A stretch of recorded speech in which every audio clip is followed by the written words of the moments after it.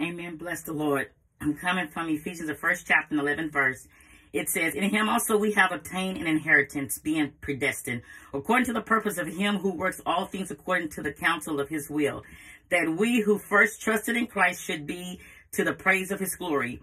To him ye also trusted. Hallelujah. After you heard the word of the truth, the gospel of your salvation, in whom also have believed, you were sealed with the Holy Spirit of promise, who is the guarantee of our inheritance unto the redemption of the purchased possession to the praise of his glory. Praise God. Glory be to God. In him we have obtained an inheritance. Praise God. And it says our inheritance has been guaranteed through him. Glory be to God. That's that's a mouthful right there. That's enough to give God praise. Hallelujah. That's enough just to give God glory. Hallelujah. Hallelujah. All by itself. Praise God. Hallelujah. In him, hallelujah, we have obtained an inheritance. Praise God. Ha, hey, hey, hey. Hallelujah. We have obtained an inheritance. So therefore, by Jesus Christ, accepting him, praise God, making him Lord of our lives, amen. Praise God. We have accepted the inheritance, praise God. We accepted the inheritance, praise God. We are joint heirs, amen. Heirs to the Father, joint heirs to the Son. We are, praise God, heirs, amen, of the Father. Hallelujah. Glory be to God.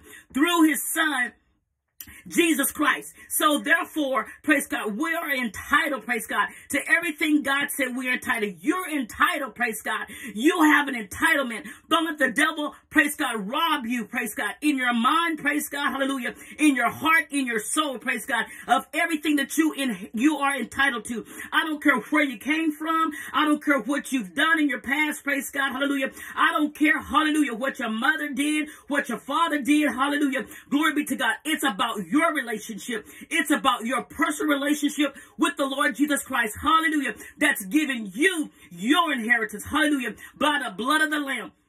You are entitled, hallelujah, to everything God said you are entitled to. And the glorious part about it, God has sealed it, praise God. We know when something is sealed, it is finished, it is done, praise God. A seal can't be broken, hallelujah. So the promises that God has promised you, hallelujah, the promises that God has put upon your lives, hallelujah, glory be to God, it cannot be broken. He cannot take it back, hallelujah. It is sealed until the day of redemption, hallelujah.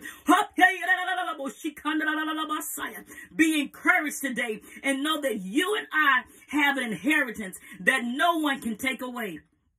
You have an inheritance, praise God. You have inherited everything in the Word of God. Everything God said you can have, you can have.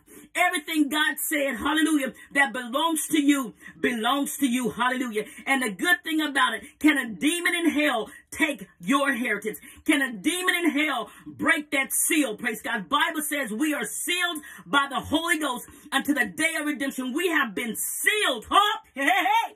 Hallelujah. God has stamped you, praise God, with his seal. Glory be to God. It's so wonderful to be the property of the Lord. I am God's property, praise God. You are God's property. He has sealed you. This is mine, praise God. Touch not my anointed and do my prophet no harm. God have sealed you.